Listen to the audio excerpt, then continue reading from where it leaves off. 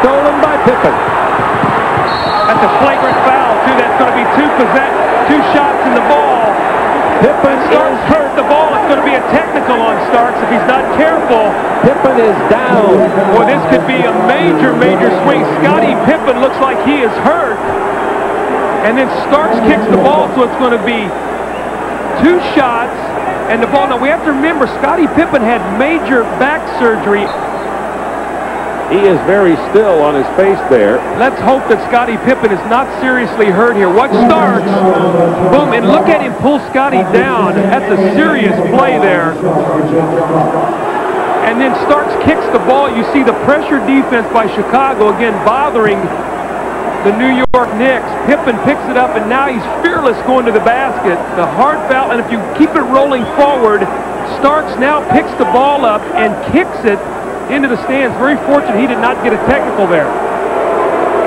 1.9 seconds remaining in the quarter. It's tied at 68. Pippen is up and moving and appears to be okay. Technical foul.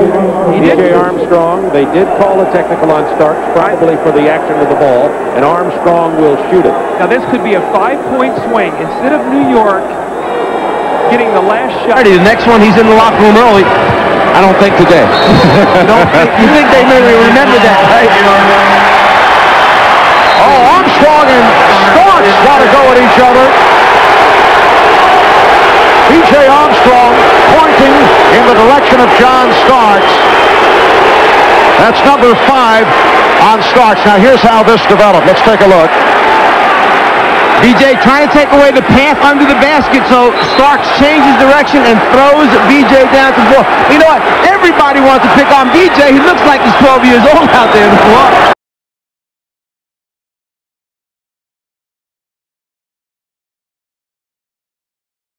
Michael really talking to the young John Starks. You saw what that did. There's a steal.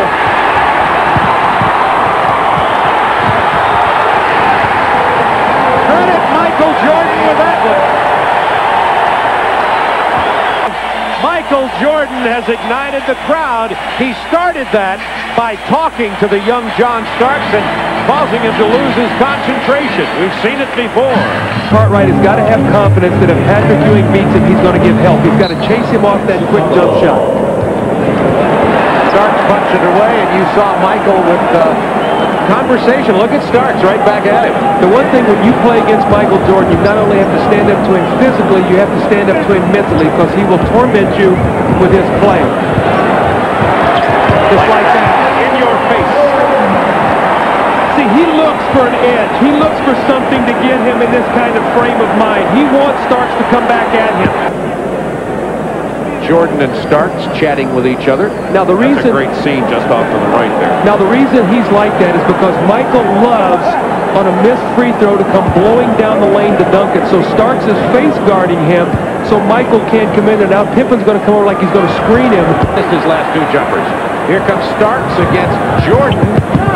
Well, that's confidence. He didn't back away. I tell you, John Starks went right at Michael Jordan. Three straight field goals, and New York is right back in this ball game, down now only six. 6-0 run by New York. It's a 56-50 game. Four for six in this quarter, which makes them five for 23 on the ball game. So everything. He's just a young guy, but look at the confidence against one of the best defensive players in the game. Beautiful spin move by John Starks. John Starks got involved in a, uh, a trash-talking duel with Michael Jordan on Thursday night. Stark said that he was wrong to get caught up in it with Michael Jordan because all it did was serve to fire up Jordan. In fact, Jordan says sometimes he'll he'll do some talking just to rev himself, to get himself going. Well, Michael Jordan is a, is a gentleman that accepts, loves to accept challenges, and he tries to find new ways to motivate himself to reach a new height. And if he finds a younger player, a guy with less experience, and he can talk a little bit to him and get the guy into that verbal confrontation, he gets a kick out of it because what it does is the challenge once again is there. Let me see if I can destroy this guy. It's no different from what I hear in the Bulls practices. He does the same thing to his teammates to try and push them to a new level.